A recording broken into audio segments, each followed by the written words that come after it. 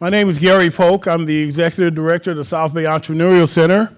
I'd like to welcome you here to our Crowdfunding Breakfast 2016. Um, this is a quite a week in the world of um, entrepreneurial finance. And uh, I have a couple notes here. In the LA Times on Monday, I'm not sure how many of you were able to see this, but there's an article that talks about startups in stock. LA Times Monday, and our moderator, Mr. Mark Hiraide, is mentioned and about his book. So I'll let Mark tell you a little bit more about that. Uh, did a little research, and uh, there's some information out there. How many people will take the LA Business Journal? LA Business Journal, a couple people. It says, Will crowds form to fund firms? Will crowds form to fund firms? It says the good news is that Los Angeles is now perfectly positioned to become a financial tech capital. And all entrepreneurs know we always need access to capital, so that's a good thing. It'll be interesting to see if Los Angeles actually does become that financial tech capital. There's some misconceptions about crowdfunding.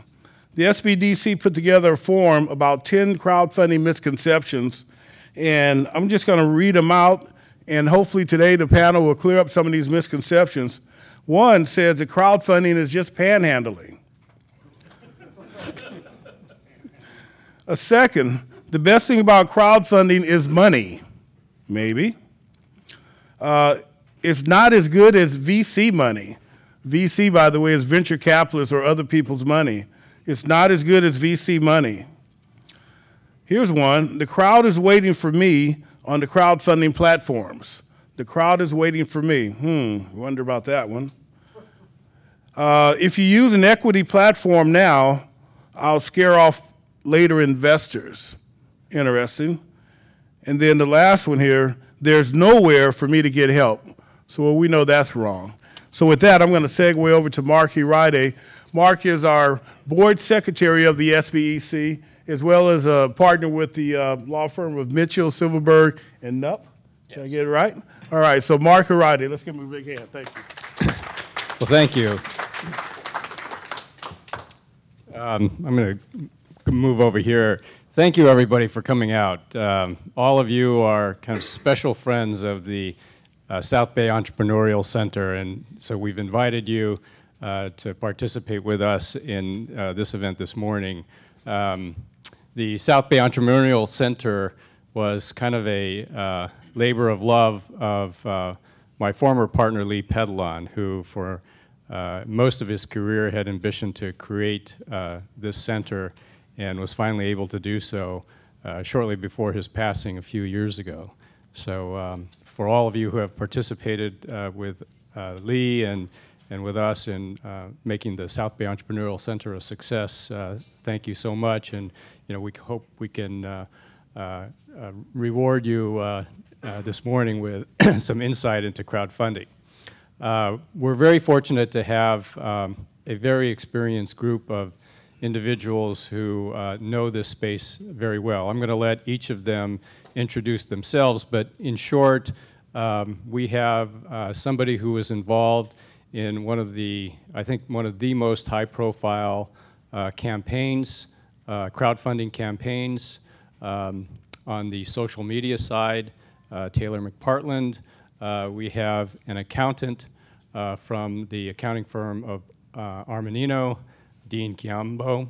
I don't hope I pronounced your name correctly.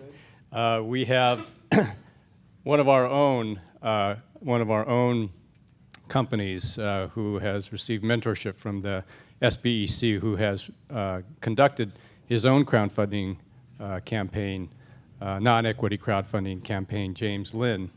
And then we have a representative from probably one of the, uh, the most prominent uh, platforms, crowdfunding platforms out there today, Start Engine. Alan is from Start Engine. Start Engine is based here in Los Angeles. Uh, so I'm going to ask, uh, start with Taylor, and ask Taylor just to um, provide a little background and uh, tell us what you've been doing in this space. Yeah, uh, well, thank you, Mark, for the invitation to come out this morning. Thanks for everybody for letting me be here. Is that better? Okay. Uh, so I uh, I'm an advisor for an organiz- for a, uh, a crowdfunding agency called CrowdFundX that uh, was was the um, agency involved in the Elio Motors campaign along with Start Engine.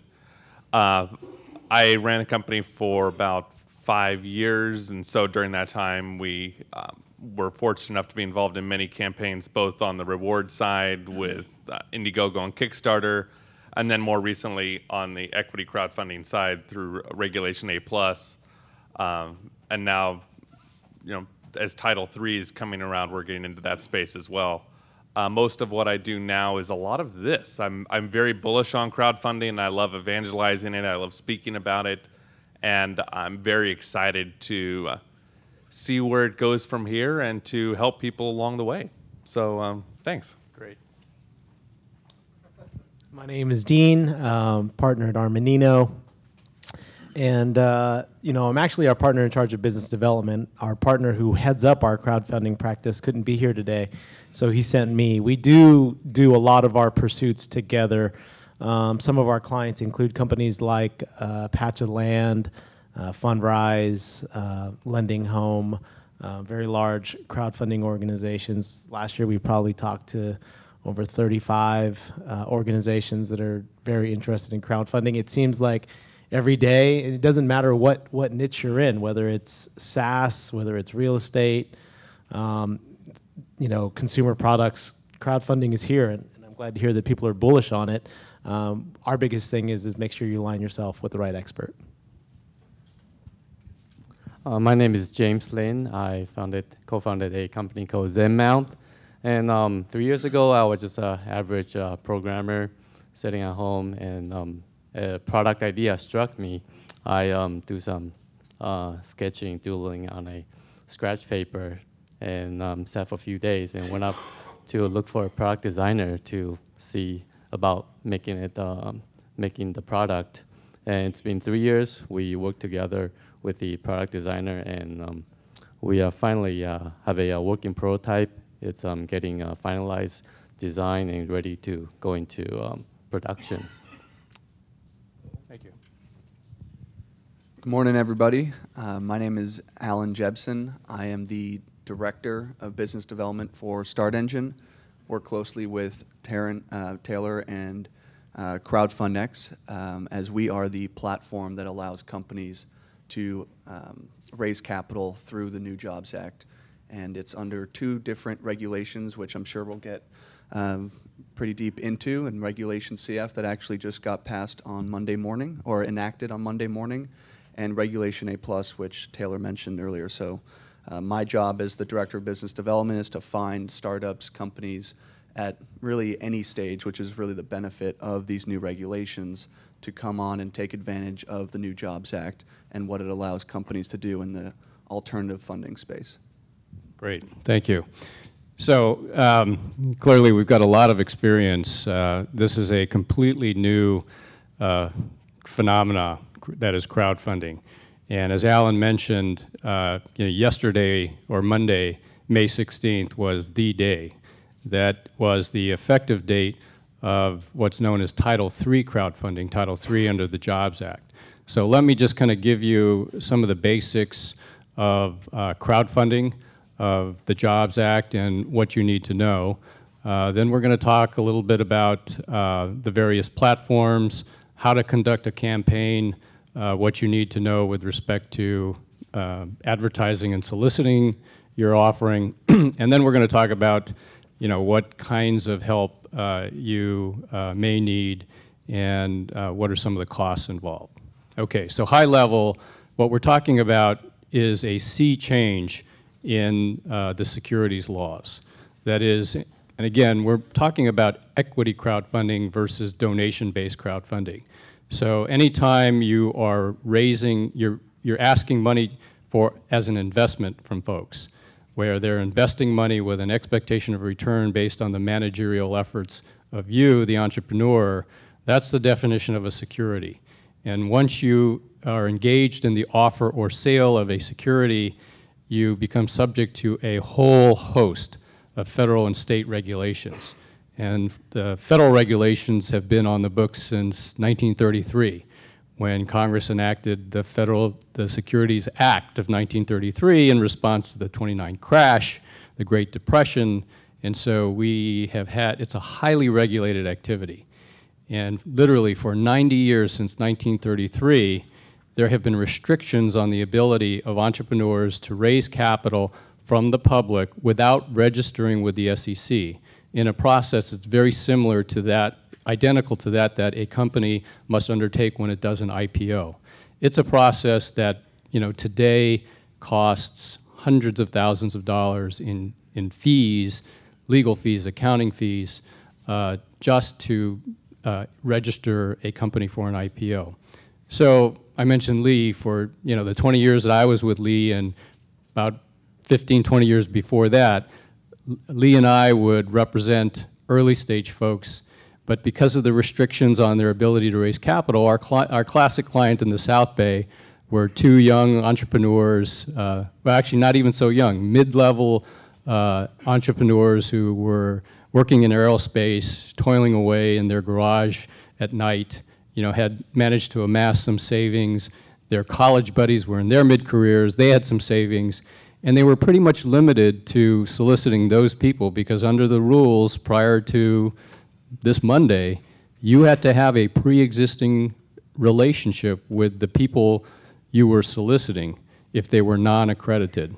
And even if they were accredited, there were restrictions on your ability to freely solicit. As of Monday, two days ago, for the first time, entrepreneurs can now actually solicit and accept money from non-accredited investors. And an accredited investor is somebody defined with, in the case of an individual, with a net worth of a million dollars, excluding home equity, or 200,000 in annual income, or 300,000 in joint income for the last two years. So for the first time, the kind of the world of investing in this asset class, early stage investments, has opened up you know, to the general public. So it's a very significant change. Um, okay, Title III is the, um, is the exemption that I mentioned that allows folks to do what's commonly referred to as crowdfunding. So what are the basic requirements? Well, number one, you can only raise up to a million dollars in any 12-month period. Uh, number two, there are restrictions, investment caps on the amount that individual investors can invest. There's kind of a $100,000 threshold, both net worth and net income.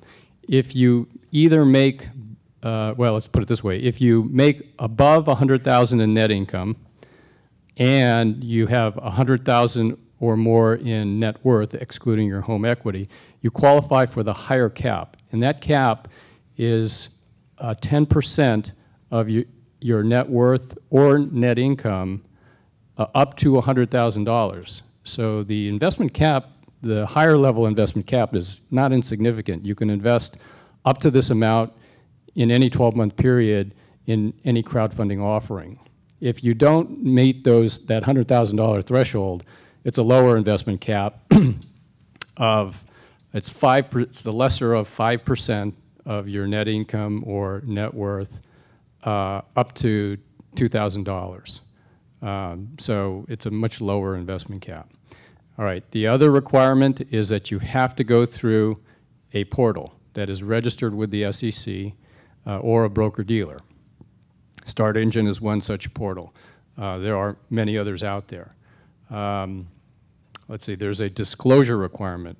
Uh, you have to provide a certain level of disclosure.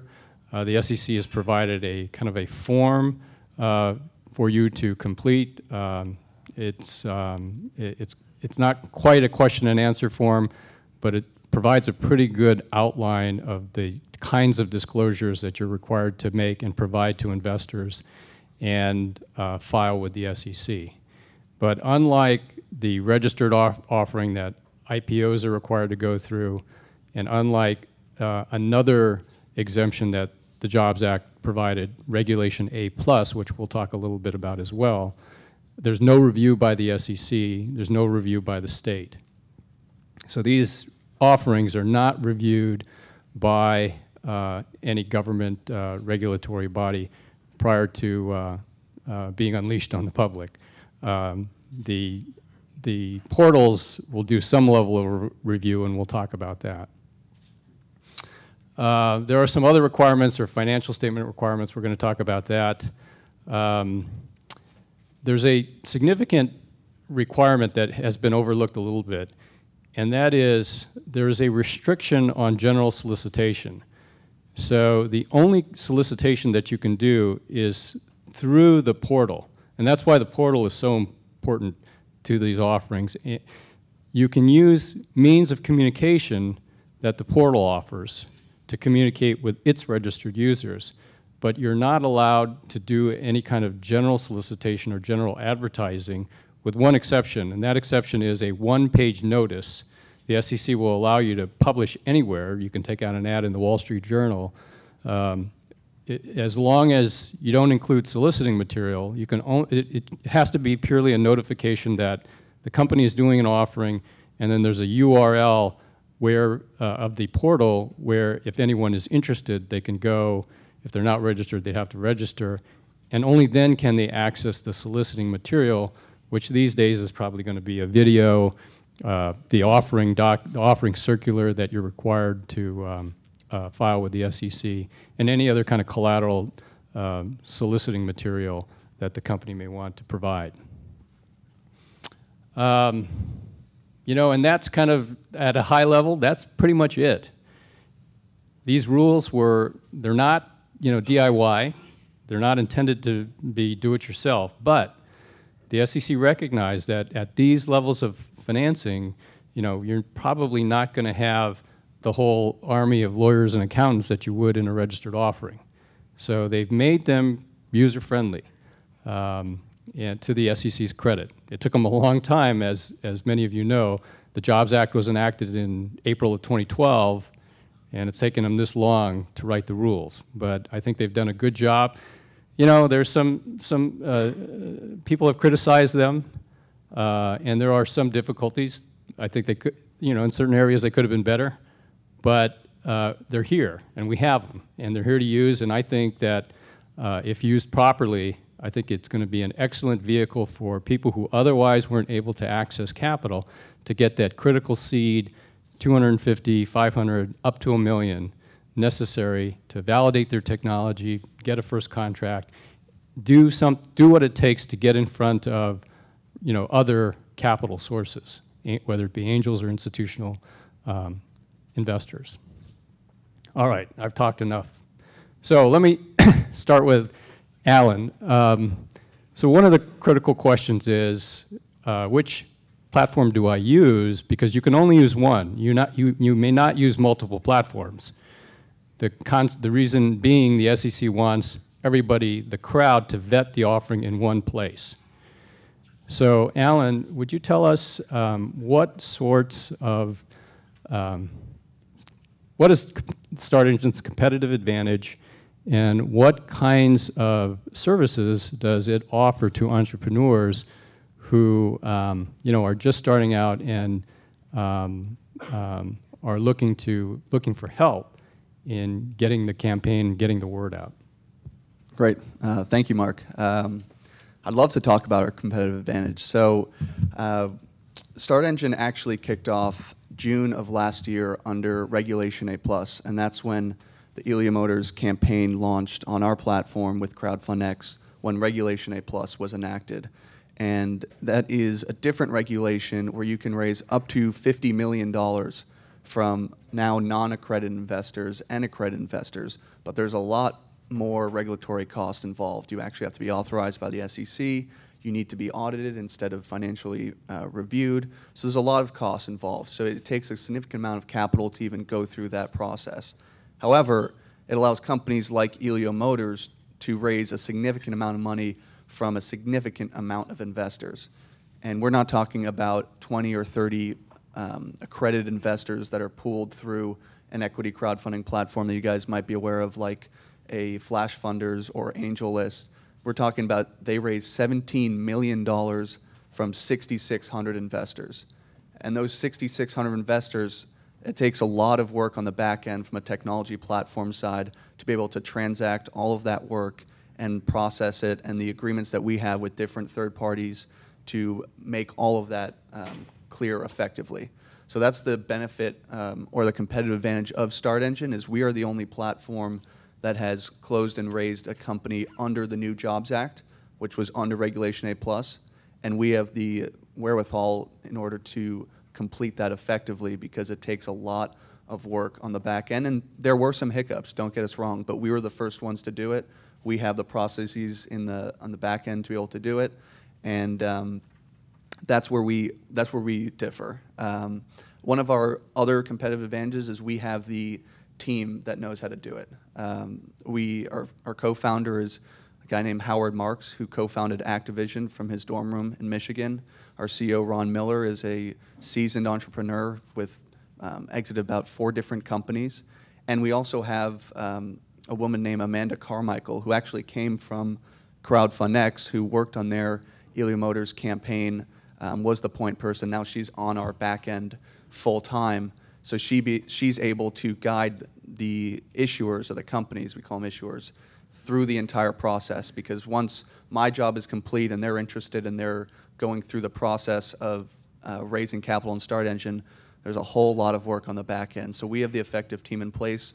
We're the only platform that has done it, and it's a very new space, and there's a lot of work to be done. So that's where we stand right now. Great, thank you.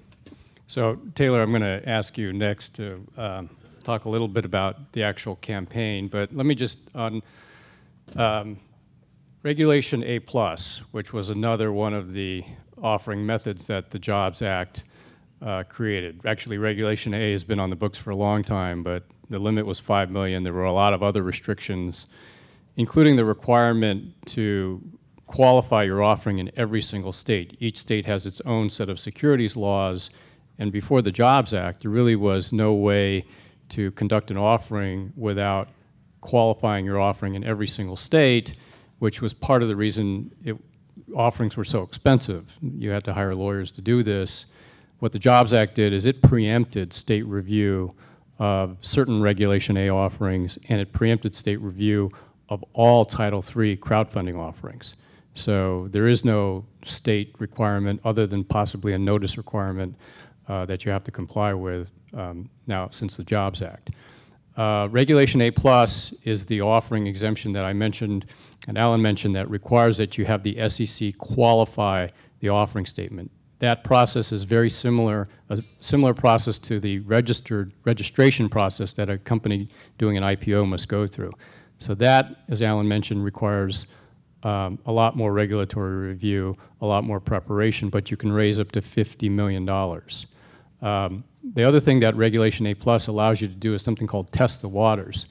So because you cannot actually sell under Regulation A Plus until your offering is qualified with the SEC, you can uh, do some preliminary testing the waters, preliminary solicitations to see if people might be interested in an offering. The idea being that you can do this before you incur the expense of qualifying your offering with the SEC. And so um, Taylor was involved in Elio Motors Test the Waters early uh, campaign. Um, the testing the water, there is no testing the waters with crowdfunding under Title III because there's no qualification. Once you file your offering document with the SEC, you're good to go. You can start soliciting. You can't, cannot start soliciting until you file that document with the SEC but since there's no review period, since your offering is effective as soon as you file with the SEC, there's really no concept of test the waters. So basically what you'll be doing is you will find a platform, you will have in advanced, um, you know, hopefully talked to uh, some, uh, gotten some counsel.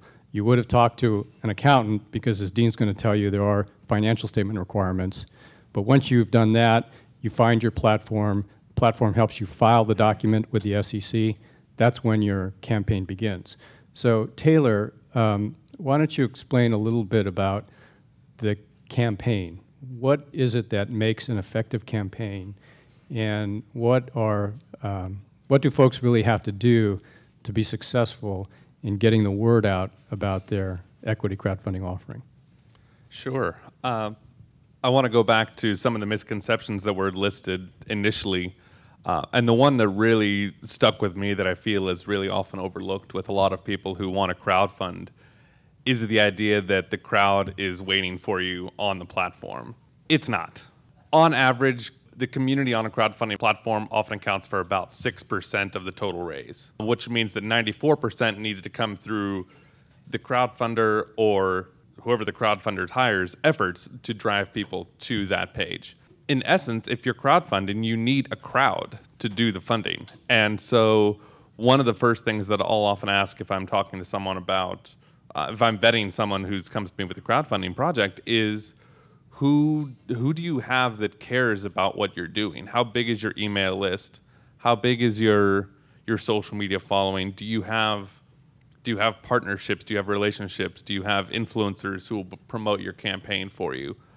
Uh, if the person says, I don't have any of that, but I want to raise half a million dollars, you've got some work to do.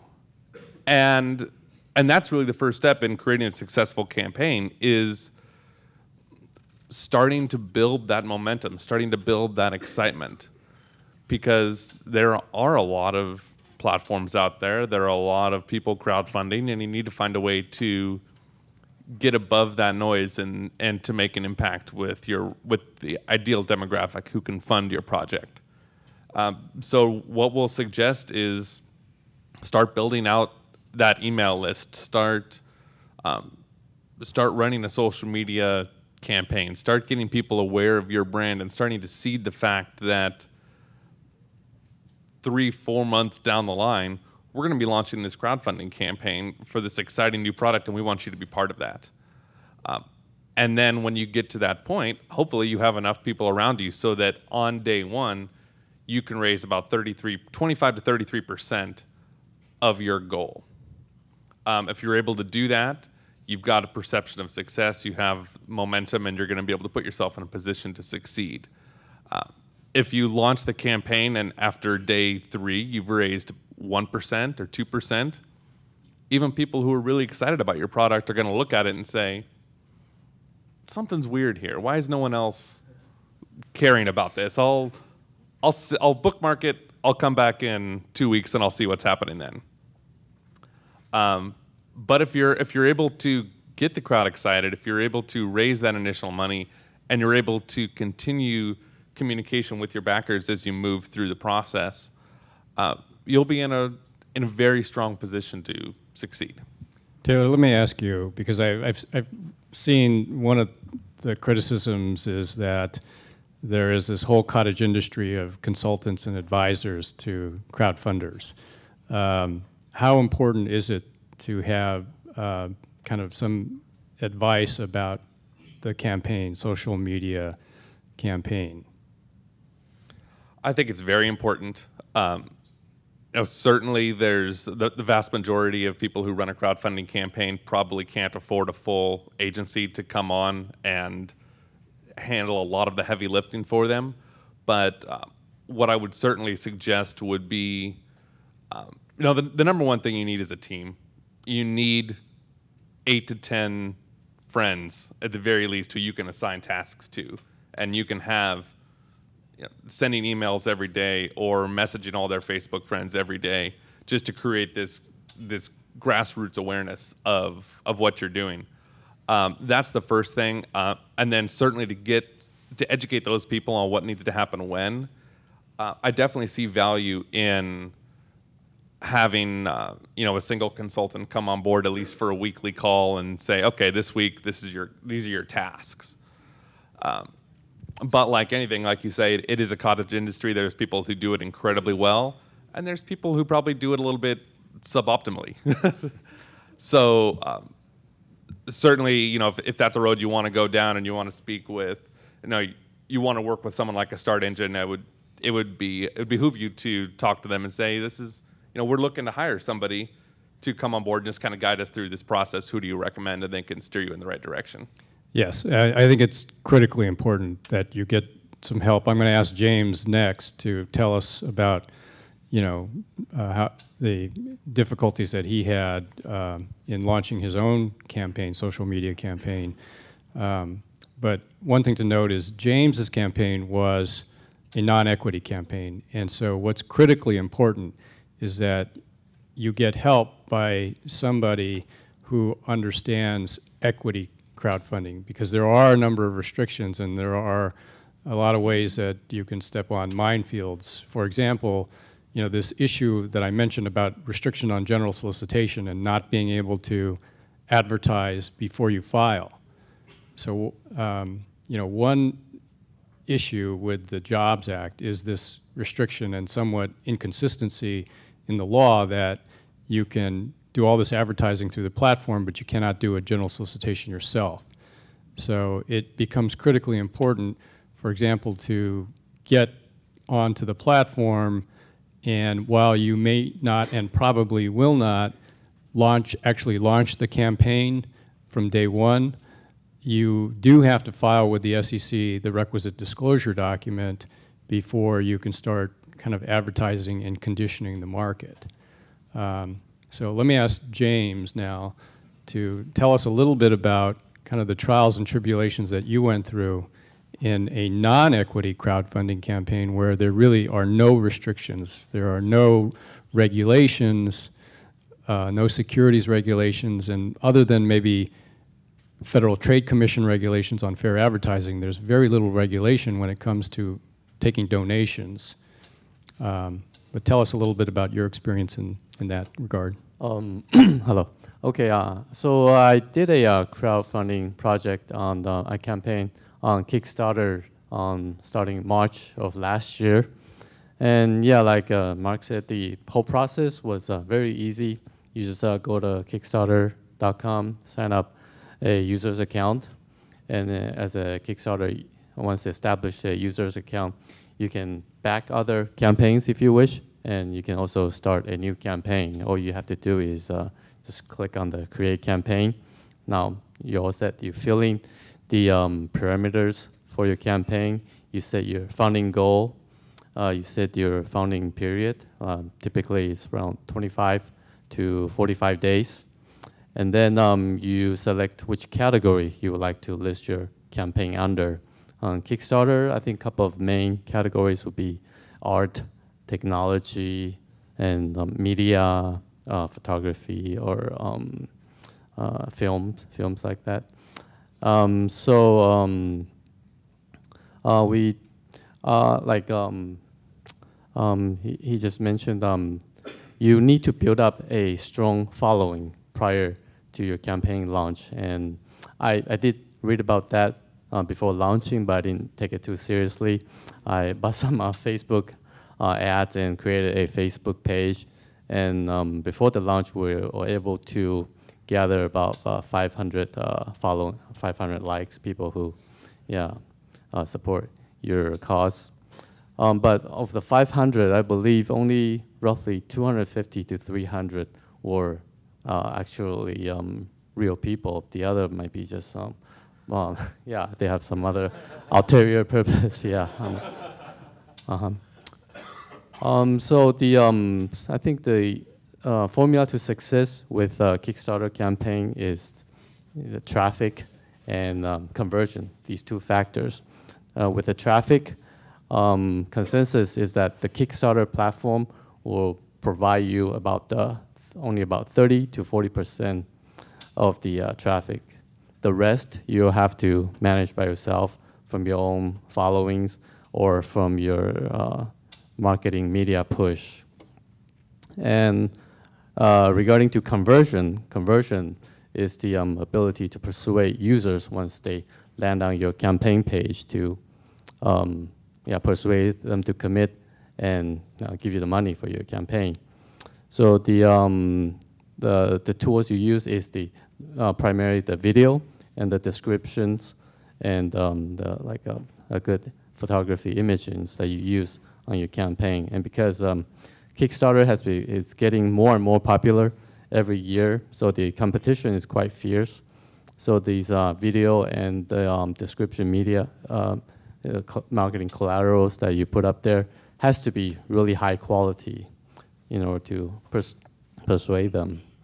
Um, so as far as our, our campaign went, uh, we set our uh, campaign goal at 150,000, and in hindsight, it was was pretty high for our type of uh, product, which is uh, a very unique uh, tablet mounting system.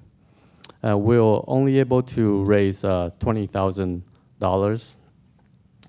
Um, so um, in uh, hindsight, um, yeah, everything um, from building your own crowd and preparation of the um, presentation materials was um, not very adequate. But we, on the bright side, we did get some um, good uh, insight to set our future direction for our company. Um, we learned that uh, most uh, backers actually um, selected the uh, most the, hi- the highest priced uh, reward in our package. So that was uh, encouraging to know that our product has support at that price point. And we also learned from communicating with uh, backers that um, the price point we're looking for is um, better suited for professional and industrial niche. So we've uh, adjusted our focus and redesigned our product to meet that purpose. Yeah, that's, I mean, it, it's very impressive to me that, I mean, to me, uh, Kickstarter and donation base is truly hand in hand. And if you can go out and hat in hand and raise 20 grand, that's pretty impressive. You know, particularly because I would assume that with most donation-based campaigns, people are investing smaller amounts of money than they would in a equity campaign.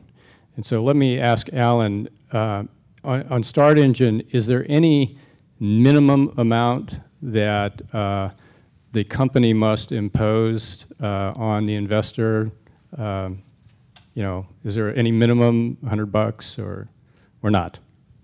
Yeah, uh, that's a great question. A lot of companies ask that, and that's really one of the benefits of StartEngine is that we are not a broker dealer. We are just a funding portal, a true safe haven marketplace for companies to come onto our platform and go straight to market and offer securities um, in their raise.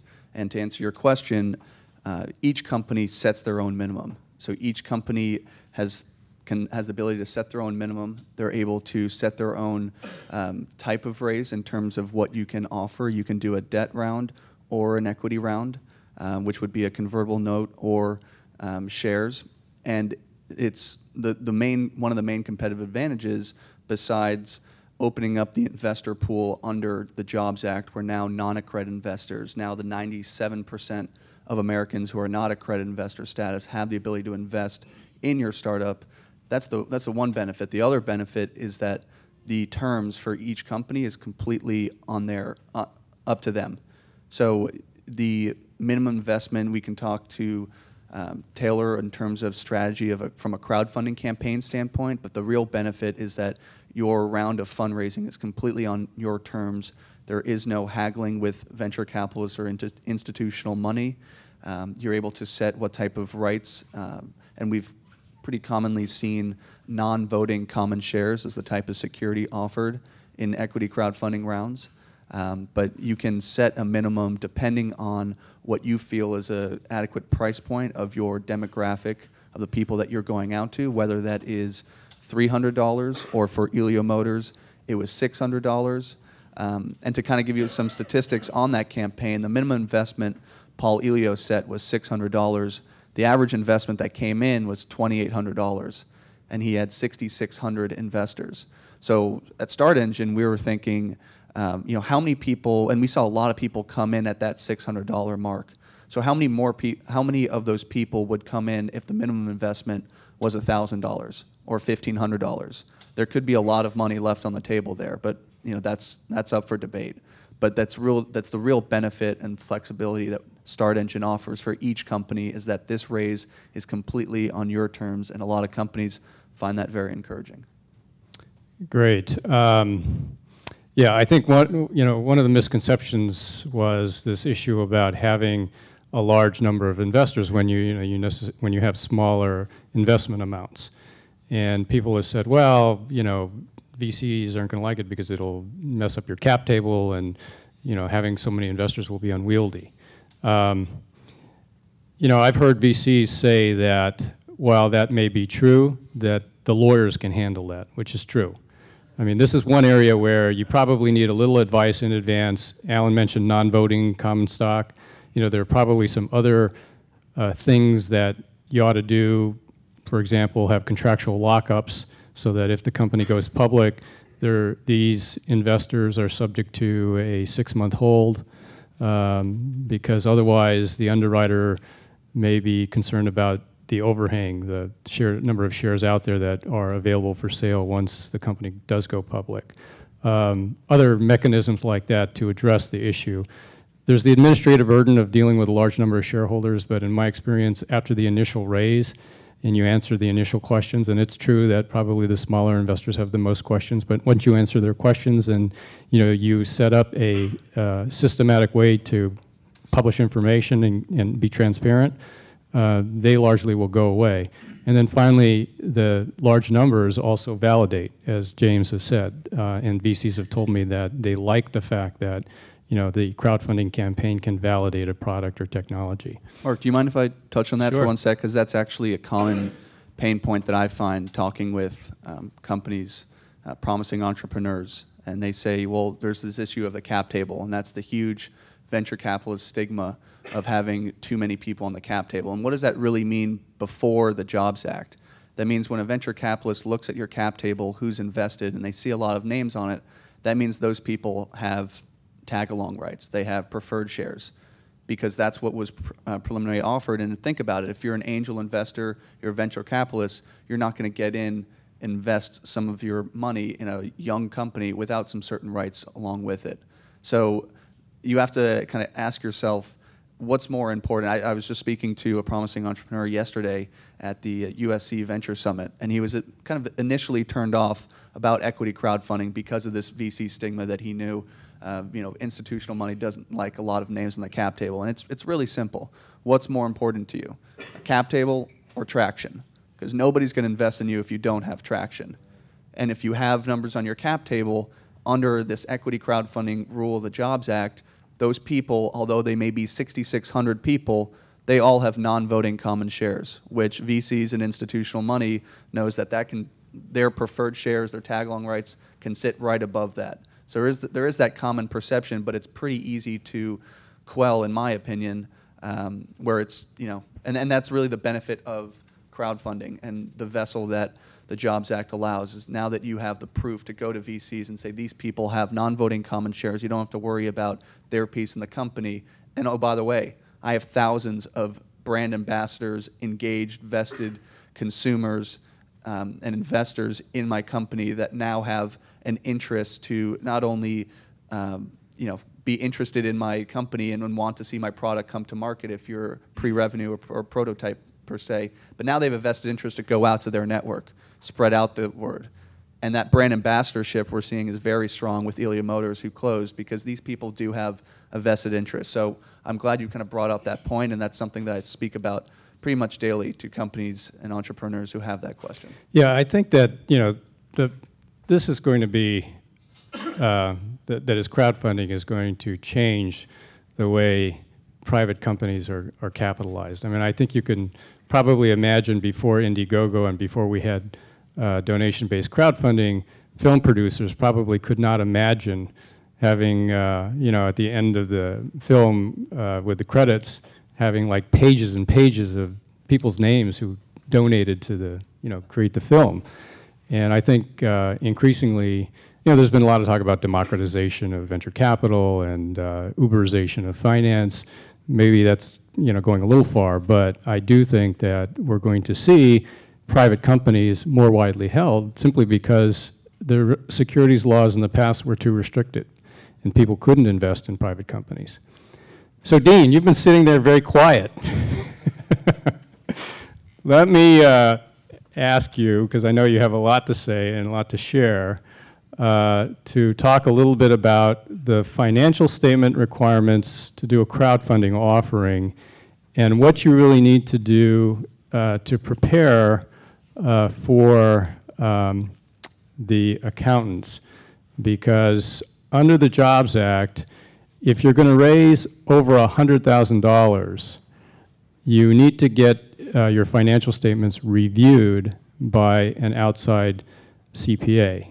And so, Dean, um, tell us what a review is maybe distinguish from an audit. Um, Under the rules, if you're using the crowdfunding rules for the first time, you only need to get a review. Um, As I say, if you're raising over 100,000. If you're raising up to 100,000, the financials just need to be self-certified. Um, And Dean can talk about what that entails. But um, if you use the crowdfunding camp, uh, rules more than once, uh, it- the- then you need to actually provide audited financials if you're going to raise 500,000 or more, uh, up to a million. But the first time you do a crowdfunding campaign, the SEC has said, we'll just allow you to use, to have a review. So Dean, what is a review? Yeah, I'm definitely going to answer that. What is review? I just wanted to touch upon one thing, and the first, it's just a couple themes that you've talked about. Um, I heard transparency and I heard validation, and this is the financial piece of both of those, right? So a review means that your CPA is going to, it's defined by doing inquiry and analytics, right? So we're going to look at your financial statements and we're going to ask questions and do a bunch of analytical procedures to see if those numbers on your financial statements make sense. It's a lesser type of assurance. A review is not an audit, right? So we're going to look at everything and we're going to say, hey, does it make sense that, you know, you raised $200,000. Okay, so why is your bank balance X? Why is your you know your equity position Y? And we'll make make sure that your financial statements make sense. With that said, in a review, you're not exactly pulling up all of the source documentation, right? We're, we're not required to go through and pull a bunch of invoices and go directly to the source documentation. That is what we do in an audit. So over the $500,000 threshold is an audit. And that's where there's a lot more work to be done. Um, we are actually going to tie back all of the balances directly to the source documents. We're going to look at bank statements. We're going to look at your equity agreements. We're going to look at everything you have and make sure that everything is accounted for correctly. Um, so an audit is much more work.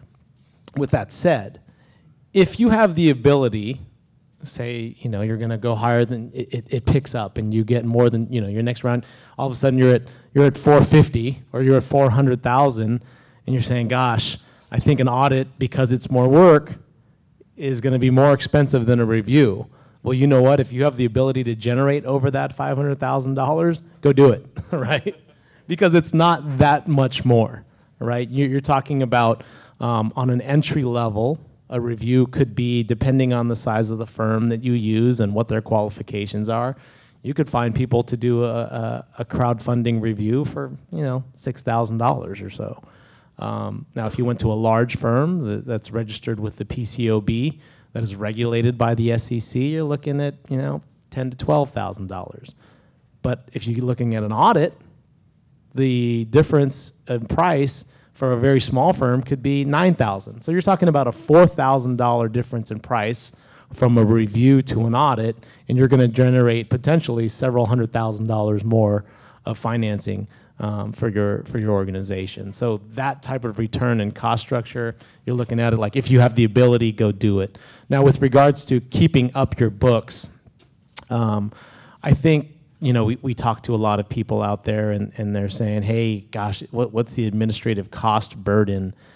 And we look at it like, um, you know, you're you're taking investor money, right? You're taking people's money please don't come to us with an Excel spreadsheet and say, "Hey, this is what I've this is what I've raised and this is where I spent my dollars," right? Because you're going to need a whole lot more than that. At least, at least, I mean, and, and, accountants really hate QuickBooks, but at least get into QuickBooks, right? At least have something to show that you could actually um, be transparent with your investors on a um, on a reporting basis that is is, is uh, very normal, um, so that you can provide that. So that's really our, big thing. And, I, and, and then when you think about a CPA, I think the first thing that people do, and we see it all the time, is they say, I'm going to go crowdfund X or Y product. I raised 500 grand, lucky me. And uh, let's just say 400. I raised $400,000. And they go to their mom and pop tax CPA down the street and they say, hey, guess what? I did this crowdfunding thing this year. And I raised 400 grand, and now I need this thing called a review. And that tax CPA says, "Oh, you did? That's that's cool. You're doing crowdfunding. Okay. Uh, so how many investors are in there?" And they're going to hear about that, and they're going to be like, "Whoa, you've got how many investors for four hundred thousand dollars, and now you want me to put my name on that?" I don't know how comfortable I, I feel about that. So we really say, you know, it's really good to work with an expert who knows what you're doing because if that product does take off, your your issues are going to get complex very fast, and you're gonna want to want to have someone who can give you that validation. So, um, okay, and what does it mean to be, you mentioned PCOB registered versus not. Uh, What is that, and uh, tell us what that is. So PCOB registered here at Armanino, we audit public companies, companies that are you know traded on on uh, the New York Stock Exchange, Nasdaq, and uh, because of that, the SEC has set up something called the Public Company Accounting Oversight Board. Meaning, because of things like Enron and WorldCom and some of our larger companies that, large, you know, publicly traded companies that collapsed, um, they said that they want to regulate the auditors who are doing work for registered companies. And so we are a, a registered company. The PCOB comes in and looks at our audits of our publicly traded companies every two years, and they let us know if they have issues with the work that we do. We- We've taken companies public and done all of that. So we're very proud of the fact that we have a 0% error rate with the PCOB. That adds another level of validation to your organization because there are CPA firms out there. We, we have a relationship with one uh, based in the Midwest. His name is Crowd CPA. And you know he'll he'll do a review for, for six grand. He'll do an audit for eight. That's not the space that, that we play in. But his deal is, is Dean, anybody who ever calls me that says they think that they really have a product that's really going to take off and they think their organization is really going to run and they want that PCAOB registered firm, then I'll pass those along to you because that's not the space that I'm in. So, Yeah, the other, um, I mean, in, in addition to kind of validation of being registered with the PCOB, um, y- there, if, if you're going to be very successful and kind of uplist and register as a public company, um, as a public company, you're required to have audits conducted by a PCOB firm. And so if you were to have an audit uh, by a non-PCOB firm, and you were successful enough to, a short time after your crowdfunding campaign, register with the SEC, you could not use those, that audit. They, those numbers would have to be re-audited by a PCOB registered firm. Um, Okay, so let, let's talk a little bit about cost, because Dean, thanks, you've given us some cost parameters. Uh, Alan, um, what is the, kind of the pricing metrics or model of, of, of uh, portals and, and a StartEngine? Sure. Um, so it'll different. Uh, it'll differ based on which regulation you fall under. Um, so I guess I'll start with Regulation CF, which Mark is talking about, which um, you can raise up to a million dollars.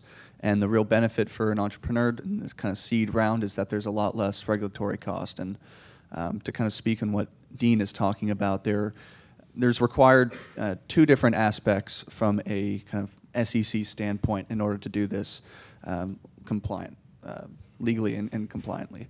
Um, so you need your uh, you need to have a legal review of your documents that you are uploading onto StartEngine or any platform. This is kind of your offering circular, if you will, um, your Form C, which is the actual document which Mark spoke about that companies fill out, which is actually kind of automated on our platform. We ask you a lot of kind of different fields in the back end, and then it kind of automatically populates into an XML um, form there. And then once you upload all of that um, material of your actual offering, then we require a legal review of that. You give your password, your login information to your lawyer, and then they legally sign off that all of the information is, um, you know, to their best knowledge, factual and accurate. So you need a legal review of what you're uploading to StartEngine, and then you need a financial review. instead of a financial audit. And we're speaking to CPAs that are right around that 5,000 to 10,000 mark. And it could honestly be less if you're a brand new company and you don't have anything on the books. And we've talked to some CPAs who understand that and they're willing to put their name on it, and some are a little hesitant because it's such a new company. But again, if it's a startup company and uh, you know they just have a prototype and they're looking to go out to raise, they don't have anything really to review. And you can go onto StartEngine and look at the financial risks of a few of their companies that are pretty early on, and you'll see there's nothing in their balance sheet, pretty much. Um, so the financial review and legal review costs, we like to say, is anywhere of $15,000 or less in order to raise up to a million dollars through this vessel. However, that doesn't take into effect what Taylor and CrowdFundX does and the entire way of raising money through a portal like StartEngine. And that is you have to find a crowd and you have to go solicit them. And Mark mentioned the tombstone marketing approach under Title III, which allows a company through whatever medium to solicit on the internet or uh, in public that they're offering securities, which is brand new under the Jobs Act, but you're doing it in a way that's very restrictive of this is, well, I'm going to use your company's example, this is J&B Pop Popcorn, we're offering this securities, go to startengine.com to learn more. That's it. So there's that cost of the legal, the financial review, and then whatever you're spending on a crowdfunding campaign aspect of it, and that's going to vary per company. But kind of in total for a company, I'd say around anywhere from, from thirty to fifty thousand dollars would be a total cost that's comfortable for raising maybe hundreds of thousands of dollars under Regulation CF. Now, Regulation A plus, which was enacted in 2015, what Elio Motors closed on, that's your ability to raise up to $50 million. Now that that's great, but there's a lot of costs involved, and that's really for a particular set of companies who have that um, capital to spend. So Mark mentioned the benefit of the test the waters aspect of it, where you can come onto StartEngine at no cost. We would just require a bad actor check from anyone in your company has 20% more equity, which is um, you know under $100. And we need a legal review of your marketing materials that you're going to go out to in the Test the Waters campaign, which is under $1,000, just to make sure it's SEC compliant because there are some restrictions and then you go out and test the waters. And investors come in, they reserve shares, which are called indications of interest, which are non binding. Money does not come into escrow. And it's a good ballpark for companies to see how much traction they're getting before incurring the capital costs of going into their live offering mode. So that cost to switch over your campaign from the test the waters to live offering uh, requires the Form 1A to be filed and authorized by the SEC. And um, Dean's firm and others charge uh, probably around twenty to thirty thousand dollars for a financial audit, and uh, law firms like MSK and, and others probably charge around forty to fifty thousand dollars to create and file the Form 1A. So you're looking at a capital cost of anywhere around seventy thousand dollars to go to the live offering phase, and that is before you spend any money with a professional crowdfunding agency or doing it in-house, which could be, as Taylor knows, you know, anywhere from fifty to $150,000. And I'm sure you can talk about the actual metrics um, of Now, how Alan, much excuse me, so right now you're talking about regulation A plus offerings. Yeah, so so that was really the difference of regulation CF. We're looking at probably a 30 to 50 grand cost, all in with campaign, financial review, legal, legal review. For regulation A plus, you can raise up to 50 million, but you're looking at costs of um, $100,000 and upwards in order to do that. Okay, great. And so Taylor, can you tell us about, you know, what are the range of services that, um, that you offer or other uh, kind of social media experts will provide, and how are, th- how are those, uh, what's the pricing model for those? Yeah. So um, from an agency standpoint, you know, often uh, we'll work on a retainer basis. So it's you know it's monthly costs for uh, three to six month engagement, and that can off easily run into the six figure range depending on the needs of the the given campaign. Uh, for something like that, you'll get. Uh, you know, for the duration of your campaign, you'll get dedicated resources that specialize in various aspects of that crowdfunding campaign. So you'll have a project manager, uh, social media director, uh, graphic designer, video production, ad buyer, uh, PR, blog outreach, the whole nine yards. Um, on the other end of the spectrum, as I mentioned earlier, there there's a whole cottage industry of consultants who can come in and uh, you know maybe for just a couple thousand dollars, you know they they work in a, a, million different ways, uh, or they're compensated in a million different ways. Each one is a little bit different, but often for just a couple thousand dollars, you can connect with people on a weekly call, uh, and they will guide you and your team through the process. Uh, I personally, I, I feel like one of the themes that we've talked about here that I think is very, very important is when you're crowdfunding, before you hire anyone, know what you're looking for. You know, if you're trying to raise, if you want to have a, a ten thousand dollar documentary, you know, and you have no money up front, then that puts you in a different category of consultant. If you're an Elio Motors, then that puts you into a different category. But certainly, regardless of what your goals are and what your vision is, do it right. And that is it's absolutely crucial because whether it's a reward campaign uh, on a Kickstarter, an Indiegogo, or an equity campaign, it's your baby and it's out there. And you can't it's not a website where you can't just pull it away again. You know, if it if you crash and burn or if you run into legal and financial issues down the line, that's your company and that's going to have a huge impact of you and it could potentially be fatal for you in the long run. Well, so, lawyers call that evidence.